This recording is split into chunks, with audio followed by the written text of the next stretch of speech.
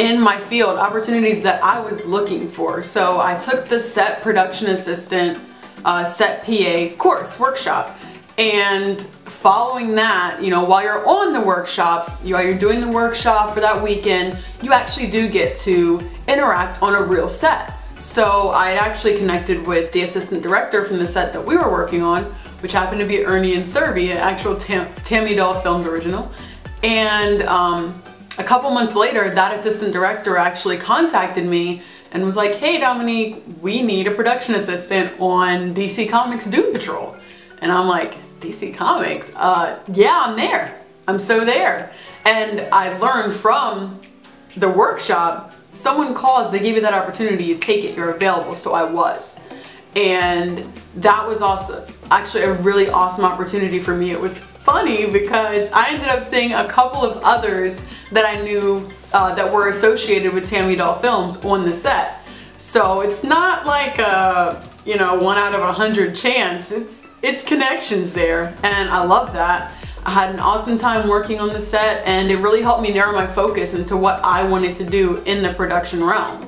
I was also given the opportunity to work as a production assistant for other things that Tammy'Dele Films was connected with in the future, such as um, a gala that was at the Delta Flight Museum. That was pretty awesome. I've never even been to a gala, so being able to work it and be a production assistant on that was really awesome because it's different than being on a movie set and they just give you all the different kinds of experience. In addition, I actually got to, the chance to go to Vegas. Um, Tammy was the producer for the Stellar Awards Artist Showcase and actually gave me the opportunity to be the producer's assistant. So I got to work on that and work right under her and see what she's doing and help out in any way that I could to make, make it happen.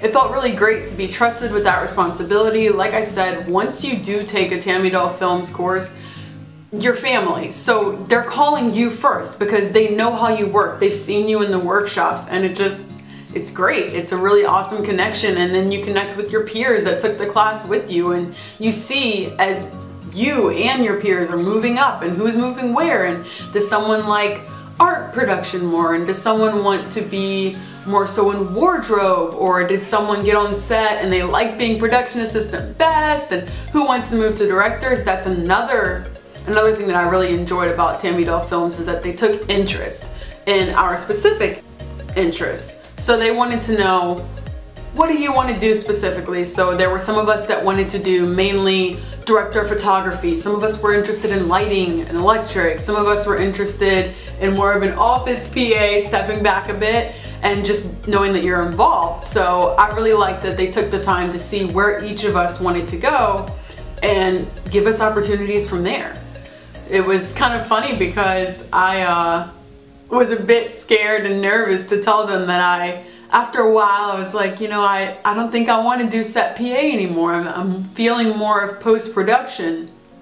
And I'd gotten so many set PA opportunities from them that I was nervous that they might think it was a waste, but no. As soon as I told them, Tammy'Dele Films was giving me post-production advice, different ways to get into the industry that I want to get into, and I'm forever grateful for that as I said, once you join and take a workshop, you are family forever.